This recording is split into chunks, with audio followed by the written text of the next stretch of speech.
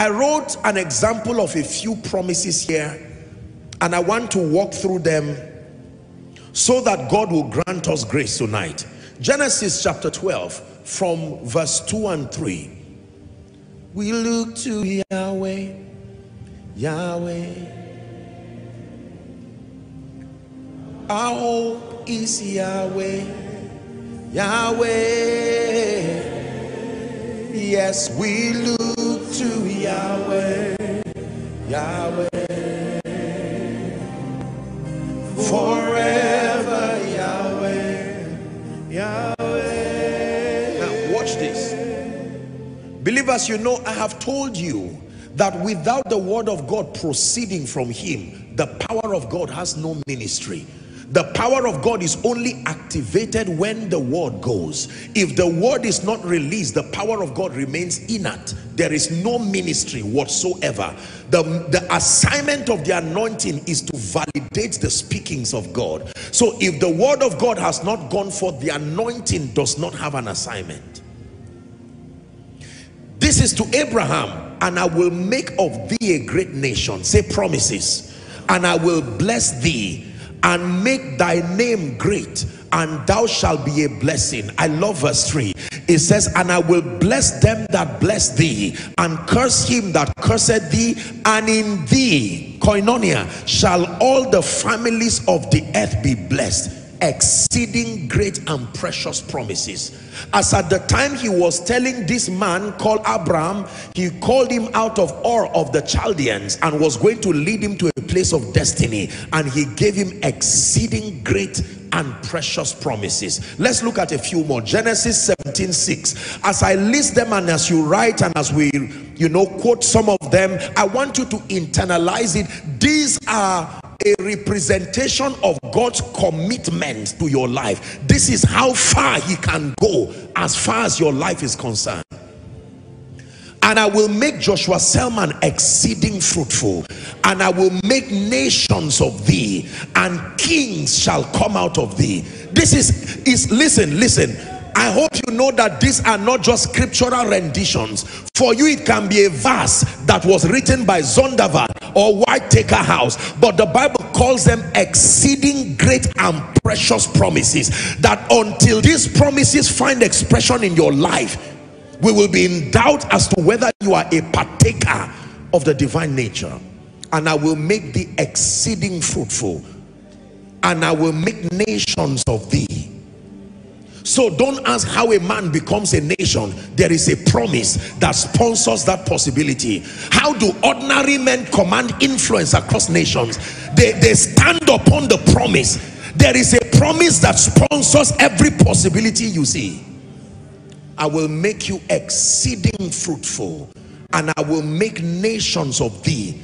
It didn't say, and I will bring kings to you alone. Kings will come out of you when kings come out of you then what is your own name? Are we together? Don't be distracted exceeding great and precious promises. In no particular order. Jeremiah 33 and verse 6 god is waking someone up and saying you have been walking in defeat as if i didn't say anything. You have not brought the words that i've spoken back to me. Behold i will bring health and cure he says. I will cure them and i will reveal unto them the abundance of peace and truth. Exceeding great and precious promises you can stand in faith and declare no it is not sickness that will take me to the grave i reject it because i am standing on a promise listen please learn this because the days that we live in many arrogant people will argue this away to their detriment i will bring you health and cure I will reveal to you the abundance of peace and truth. That means being healthy is not enough. If you don't have peace, you are still sick. Are we together now? I will not only give you health, the covenant of peace, nothing missing, nothing broken. Jeremiah 29 11. I don't know who this is for. It says, For I know the thoughts that I think towards you, saith the Lord, they are thoughts of peace this is not a general statement it's up to you to receive it as these words come these are the exceeding great and precious promises thoughts of peace are not of evil. God is not thinking evil of me. No god is not thinking evil of me. His thoughts towards me guarantees that there must be an expected end. Are we still together? Job chapter 5 from verse 19 to 23 exceeding great and precious promises. You must know what these promises are before you know how to engage them he shall deliver thee in six troubles. Yea in in seven there shall no evil touch you. Do you believe that? Verse 19 or verse 20 now. In famine. Are we are we right on that? In famine he shall redeem thee from death. And in war from the power of the sword no devil will take my life through the sword because I am standing upon an exceeding great and precious promise. It looks like it's too good to be true till you believe it. God is only committed to what you believe not just what he said.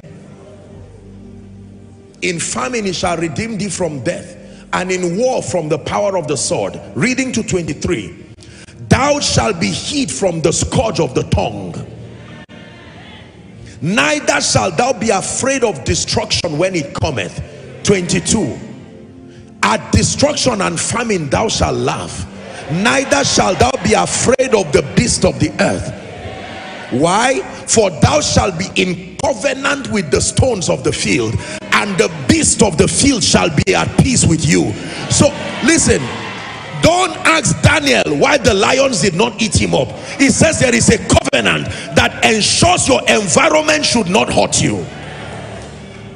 Not the sun that smites you by day, nor the moon by night. There is a covenant with the elements of creation. They have been mandated to support what I represent. That if I enter any city at my arrival, the elements is an echo from the spirit to the sun, the moon, men, the seas, that they stand in partnership with the things that I represent. If you do not believe this, the sun can smite you. That means if anybody uses the sun against me, you are wasting your time. The covenant came before your arrival. You shall be at peace with the leagues, the stones of the field. There was an instruction that was given to them so you can enter a city and someone who is supposed to bless you is made to return back from his journey because you came. There is something speaking. Hmm. exceeding great and precious promises. Listen these are the truths ladies and gentlemen that makes other people look like they their lives are a plethora of coincidences. They are not mistakes these realities are programmed through knowledge. Holy, holy, holy. Holy, holy, holy. Holy,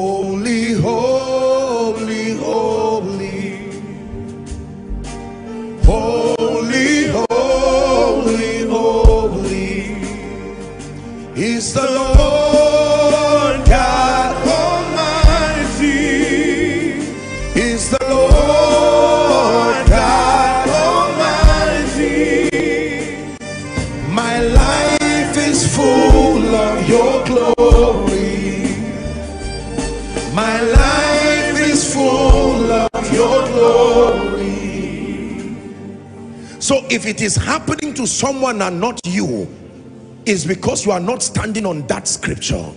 Exceeding great and precious promises. Mm.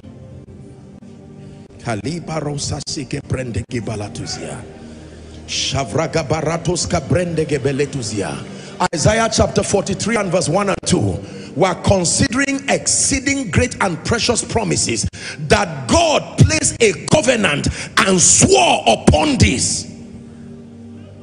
Finding no man greater than him he swore that by these two immutable things it is impossible for God to lie. But now saith the Lord that created thee, O Jacob, and he that formed thee, O Israel, fear not, for I have redeemed you. I have called you, I like this one, by thy name. I didn't call you as a crowd, I called you by name. Thou art mine. Reading to three, it says, When thou passest through the waters, I will be with you. I told you that there are times that the storm will not even come close to you. But there are times that in the midst of the storm, verify who is in your boat. If Jonah is in your boat, start praying quickly because you are about to die. But if Jesus is in your boat, find peace. They shall not overflow thee. When thou walkest through fire thou shalt not be burned neither shall the flame kindle upon you. Verse 3 the bible says for i am the lord thy god the holy one of israel thy savior. I gave egypt for thy ransom. Look up please. Have you seen a kidnapper catch someone? You you know the kind of amount they mention? God said i took egypt and gave it as a ransom for you even Ethiopia and Sheba. This is how much he places value on you.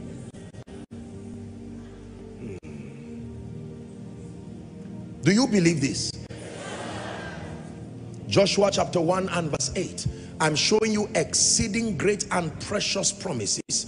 This book of the law, he says, shall not depart from out of your mouth, but thou shalt meditate therein day and night that thou mayest observe to do all that is written therein. For then shalt thou make thy way prosperous and thou shalt have good success. A man can have good success if you are standing on these exceeding great and precious promises. Are we still together? Isaiah 49 and verse 16 god is speaking to someone here Wherefore we have been given these exceeding great and precious promises.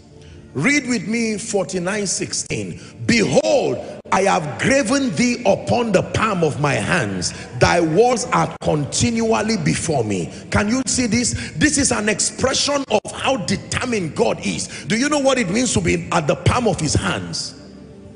He says, all that you have given me, I have kept. John 17. And none is lost except the son of perdition. But I know whom I have believed, he says, and I am persuaded that he is able to keep that which is committed unto him, even against that day.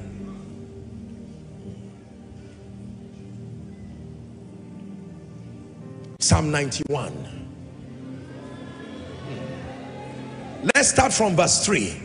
Then we'll go to 5 to 8. Surely he shall deliver thee from the snare of the fowler, from the noisome pestilence. Verse 5. It says, Then thou shalt thou shalt not be afraid for the terror by night, nor for the arrow that flieth by day. Reading to 8.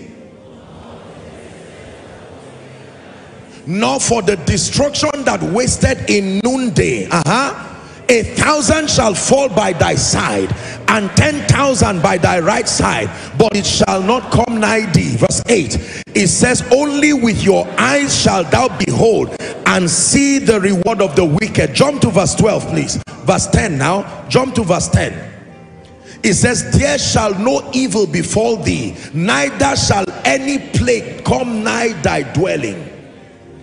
11 for he shall give his angels. Hold on.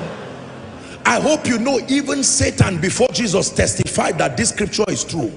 At the temptation of jesus satan quoted it.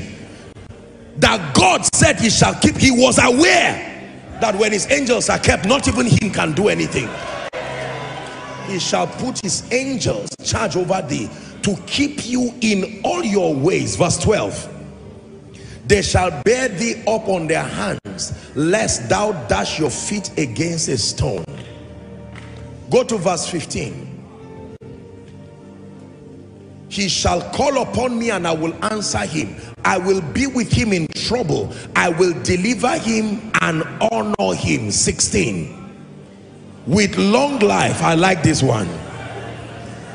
With long life with long life will I satisfy him and show him my salvation. Believers please hear me.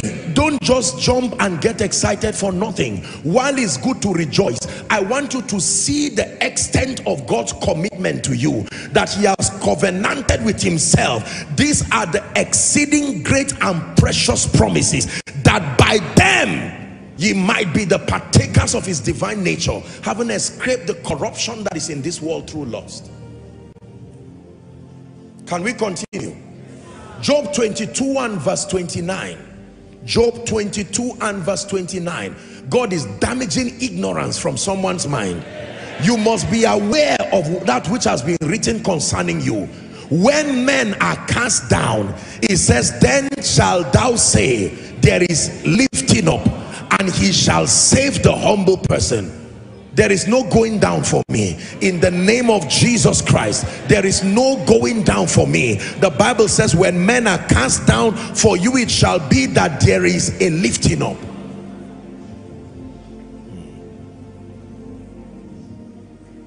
First John chapter 5 14 and 15 first John 5 14 and 15 is God speaking to someone? First John 5 14. And this is the confidence that we have in him. That if we ask anything, not according to our tears, not according to the vastness of our troubles, if we ask anything according to his will, he heareth us. 15 and if it is true that he heareth us, then whatsoever we ask, we know that we have our petitions that we have desired of him. Listen, when you are full of light and knowledge, let me tell you something, ladies and gentlemen, there is a way that you conduct yourself and there is a way that you speak. Let me show you a scripture that blessed me so powerfully. Isaiah chapter 8 and verse 20. Isaiah chapter 8 and verse 20 it says to the law and to the testimony if they speak not according to this word it is because there is no light in them. There is a way that a believer speaks when the light and the power of God comes upon you. Are we together now? You will never hear me say some things about my life. Not me. No way my destiny is too expensive for the risk of ill communication. No.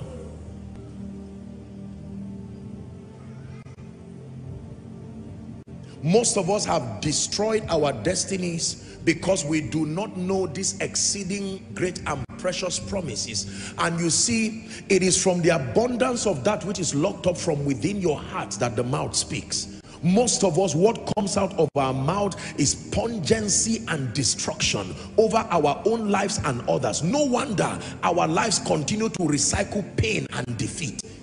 It matters your communication that your speakings must be full of power and life. It says do not say before an angel i made a mistake.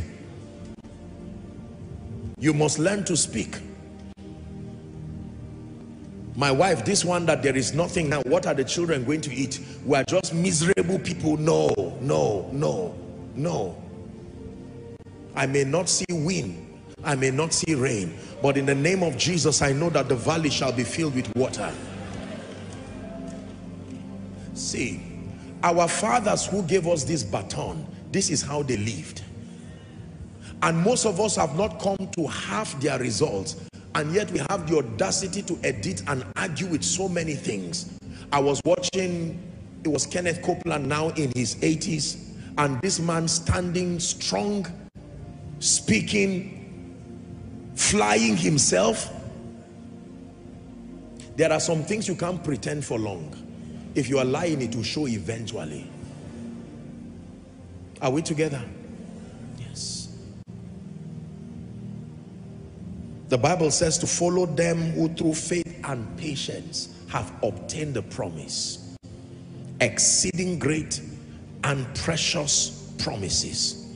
Now, The Bible says in Colossians chapter 3 and verse 16, it says, let the word of Christ dwell in you richly. Believers, please listen. In all wisdom, teaching and admonishing one another in psalms, hymns, and spiritual songs, and singing with grace in your hearts to the Lord. I learned this as a spiritual principle. Your dominion in this kingdom is predicated upon your sound knowledge of the promises of God. Most of us cannot quote three or four or even show even five scriptures that support your confidence to stand in this life. I'm not into this ministry thing. Me, I'm just an average person. The devil does not care. When he comes, he bulldozes anything that does not carry the word. Hallelujah. The average believer, you can listen to the average believer and know that this person is not a student of scripture there is a way believers who are immersed in the word it it must implicate you. There is a way you speak. Do not say it does not matter. It is the path to excellence. Wherefore we have been given these great and exceeding precious promises. Many of us right now we come to church and we just hear and nod and say amen. Thank you. Praise god. Wow nice sermon. And you go back. When challenges come before you all that you you re, you respond back to the challenge with is sympathy wise sayings and cultural admonishments. Unfortunately none of these three has the power to drive satan when the devil comes, he comes to steal, to kill, and to destroy. Satan does not come for counseling. He does not come for discussion. He does not come for negotiation. When he arrives, he's to kill, to steal, to kill, and to destroy. The moment Satan came to Jesus, Jesus would have said, Satan, sit down. I created you. Let's discuss this issue. Why are you like this? Was that what he did? It is written. But I know what is written. That's why I can use it against you. It is written. And Satan too said it is written. I'm not in ignorance. I know some things too. You must be full of the word this year you must be listen you must be full of the word this year. I'm not just talking of this church thing we do and then you go out and speak as if you are an idol worshiper. You must be you must be sound in scripture. You wake up in the morning this is the day the lord has made. I bless the lord for this day. I decree and declare, I speak and I command my morning, it shall be unto me as God said it would be let people tell you leave this thing. Let's talk. We are nigerians. We know what is happening. You keep speaking like that. The person who is leading you into derision has somebody who is covering him in prayer. And you may be standing and it will first destroy you before you learn your lesson. I choose to reorder my life to guide my life with precision. I i remain a student of scripture exploring like an archaeologist the mysteries of the kingdom. I want to know the promises of god. There are times that you go online and just download scriptures. What are the promises of god concerning your life your health your longevity? Bring them together. You don't need to know everything at once but have a have representations across every area of your life and meditate upon it.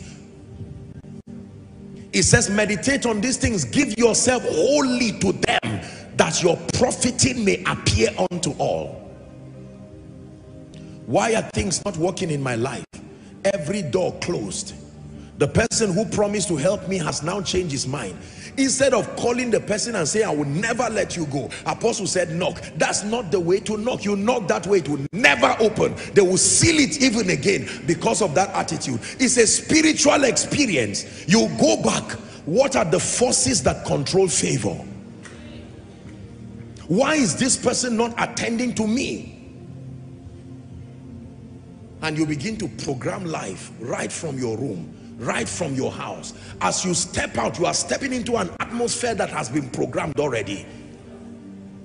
You arrive somewhere and someone calls you and say i was just about to travel. Something said wait that something was you and God doing business in the secret place keeping your helpers waiting for you are we together? The psalmist said I lay me down and I slept. I waked for the Lord sustained me. When you are going to bed you don't go to bed wondering if you wake up. No. God bless you. See you tomorrow with confidence. See you tomorrow. Not I don't know what will happen. God bless you. Sleep well see you tomorrow. What is the guarantee that i will enjoy my sleep? Oh um, i don't look for anybody's trouble. No that is that is an ignorant believer's talk. The bible says i lay me down and i slept. I wait for the lord sustain me. Then the bible says it is vain to wake up early in the morning and to sleep late in the night. Is that true? Only to eat the bread of sorrow. But the bible says he giveth his beloved sleep. You can use that scripture to attack sleeplessness that spirit that keeps me awake in depression the lord rebuke you because it is written that he gives his beloved sleep. It is the keeper of israel who does not sleep nor slumber. I am his israel so i will sleep. If i wake up it should be that i am diligently pursuing destiny not that it is lack of sleep anybody here going through that cycle of tragedy in the name of Jesus and standing upon the authority of the word we declare you are set free right now.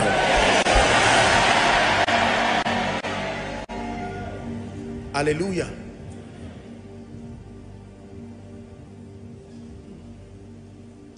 We live in a world where evil continues to multiply. And we know it is true because the Bible tells us that wickedness will increase it is true. But you have to define the boundaries of your own immunity. You must know these exceeding great and precious promises. While you are sitting down right now, how do you know that someone is not planning evil against you? I don't look for trouble. I'm not even famous.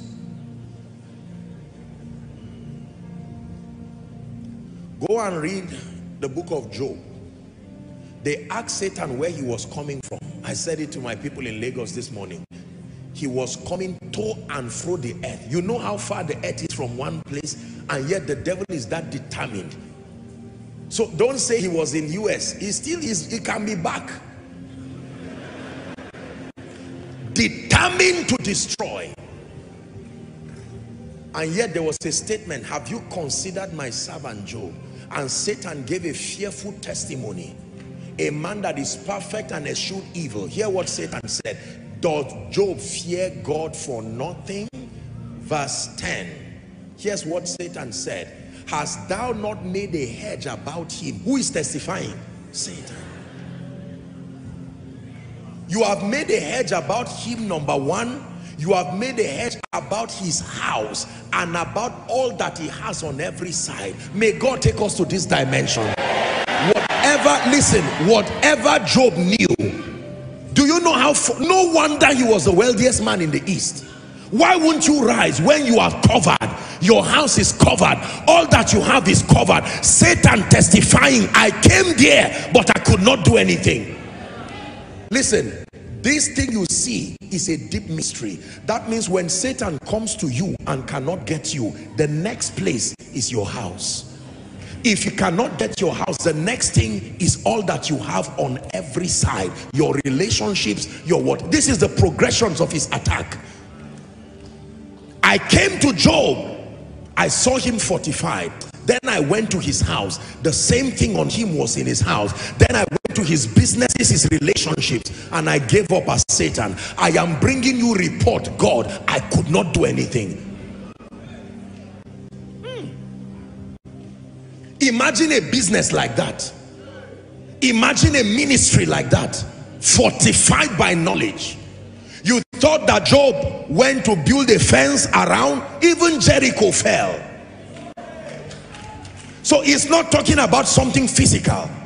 Some of you are covered but your business is so exposed.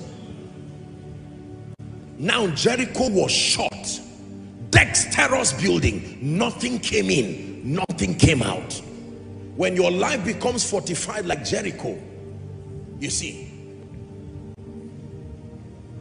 most of us live very risky lives. We just hope that things will not harm us This is not administering fear. This is showing you that the excellency of the God life made manifest through you is at the instance of the knowledge of these exceeding great and precious promises. I truly believe that in my lifetime until my assignment is done, no man born of a woman can take my life. I truly believe this. This is not blind confession. I've seen the burning bush. That's why I'm speaking.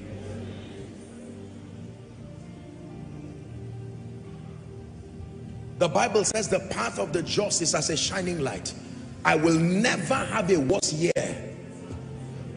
a worse year before that will make me admire yesterday because of how destructive tomorrow is. No. My tomorrow is always an adventure that will outdo yesterday eternally for as long as i'm alive. Listen carry this mentality whether for ministry or business. Don't say last year look how things were it's your responsibility to change it. Compare what is happening to what is written. Match them together. That is the assignment of faith. This is what God said. This is what is happening in my life. Don't feel discouraged but let that become your next assignment. You must force them. Force what is happening to be like what has been said. Hallelujah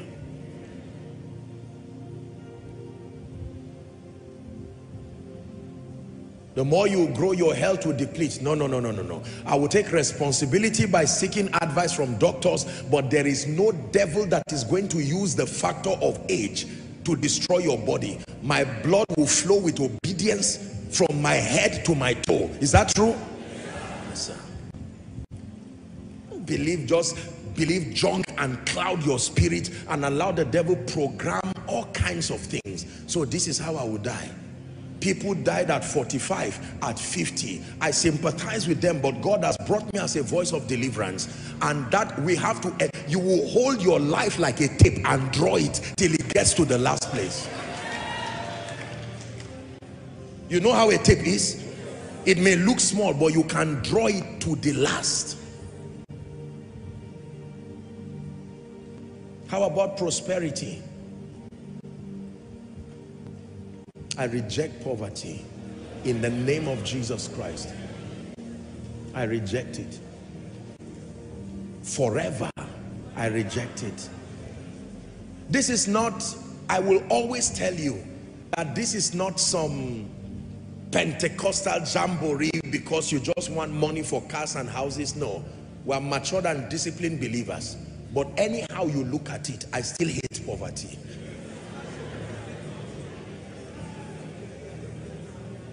Are we together? It incapacitates people, pushes you fastest to the corridors of compromise. There are many good people who can become beasts because of poverty. I've taught you that the only reason why Israel goes to Egypt is hunger. When there is hunger, hunger can take Israel to Egypt. Please reject it. Reject it in the name of Jesus Christ. It is not a measure of spirituality to not be able to take care of your children.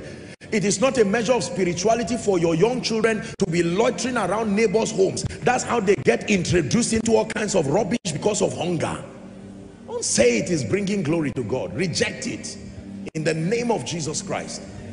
The blessing of the Lord is in my house. According to Psalm 112, blessed is the man that feareth the Lord, that delighted greatly in his commands. Listen, as at the time you are saying this, there may be nothing in your bank account, nothing in your pocket. Your assignment, it is what you are engaging that will make it happen.